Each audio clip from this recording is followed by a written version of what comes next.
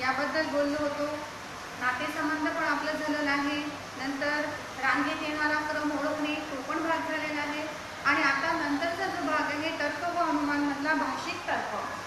हा जो भाग आहे तो आहे भाषिक तर्क. तर आता आपण एक उदाहरण बघूया. बघा उदाहरण.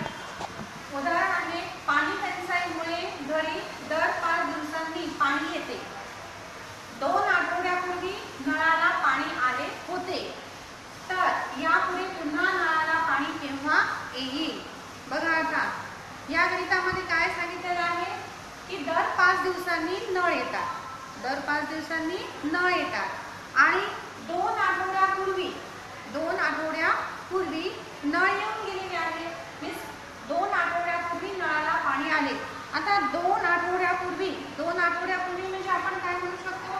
सात दिवसाचा एक आठवडा. ठीक आहे? म्हणजे सात दिवस म्हणजेच काय आहे? एक आठवडा. म्हणजे सात दिवस याला मल्टिप्लाय करावं लागेल तुम्ही. कारण की दोन आठवड्यापूर्वी नळ आले होते. मीन्स किती दिवसापूर्वी नळ आले होते? चौदा दिवसापूर्वी. चौदा दिवसापूर्वी.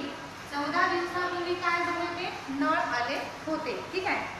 आता बघा दर किती दिवसांनी नळ येतात? पाच दिवसांनी. दर पाच दिवसांनी पाणी येते. ठीक आहे? आता दर पाच दिवसांनी पाणी येते. चौदा दिवसापूर्वी आले होते. म्हणजे आता इथे चौदा दिवसापूर्वी कितीदा येऊन गेलं? आपल्याला जर बघायचं असेल तर किती वेळा येऊन गेलं? पाच पाच एक पाच पाच दोन्ही दहा. म्हणजे दोन वेळा या चौदा दिवसामध्ये येऊन गेलेलं आहे. आणि उरले किती दिवस मग आता? चार दिवस.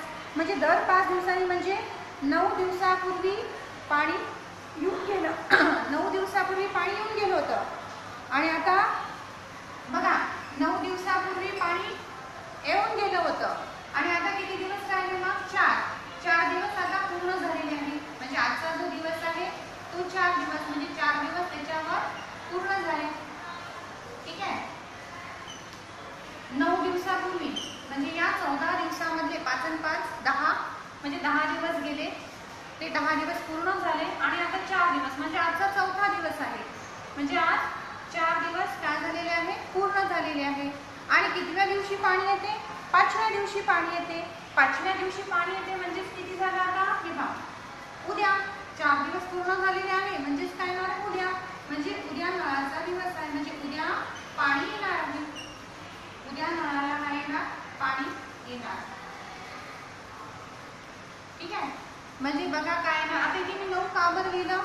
नऊ याच्याकरता लिहिलं की चौदा दिवसामध्ये ज्या दिवशी नळ येऊन गेले त्याच्या पाचव्या दिवशी पुन्हा नळ येऊन गेले त्याच्या पाचव्या दिवशी म्हणजे टोटल जरी दहा झाले असतील तरी मग त्याच्यानंतर पुन्हा चार दिवस पूर्ण झाले. म्हणजे आजचा जो दिवस आहे ज्या दिवशी आपण बोलत आहे तर त्या दिवशी चार दिवस पूर्ण झालेले आहे. आणि त्यामुळे पाणी कधी येणार आहे मग? उद्या येणार आहे. मग आपण जर पर्याय क्रमांक बघितला यामध्ये दोन दिवसांनी पहिला आहे नंतर आहे एका आठवड्याने डीमध्ये सीमध्ये आहे पाच दिवसांनी आणि डीमध्ये आहे उद्या. तर मग आपल्याला ऑप्शन नंबर कुठला टिक करावा लागेल? उद्या. आपण उत्तर येणार उद्या. ठीक आहे?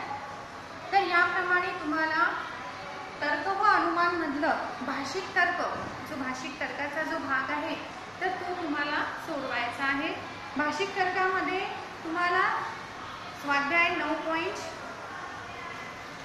पाच म्हणजेच आपली जी एक्झरसाईज आहे एक्झरसाईज आहे nine point five nine point फाईव्हमध्ये तुम्हाला काही सरावासाठी उदाहरणं दिली आहेत. आणि त्या सरावासाठी उदाहरणामध्ये ते उदाहरणं तुम्हाला आज घरी पूर्ण करायचे आहेत. तर सगळ्यांनी सगळे एक्झाम्पल्स जे आहे एक्झरसाईज नाईन पॉईंट फाईव्हमध्ये सॉल्व करा.